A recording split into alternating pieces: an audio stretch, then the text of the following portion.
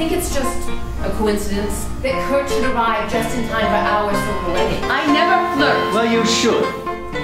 So we wait for death. It brought you straight back to the couple that you stitched together 25 years ago. Oh, I can't take credit for that.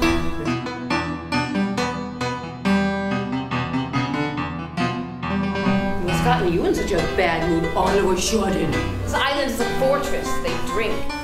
They don't care about food.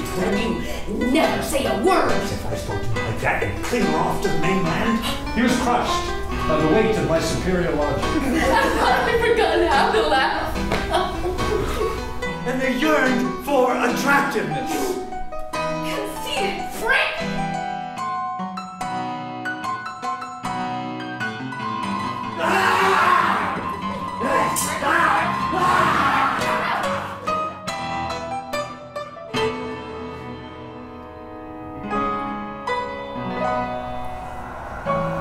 I told you, I'm not ready.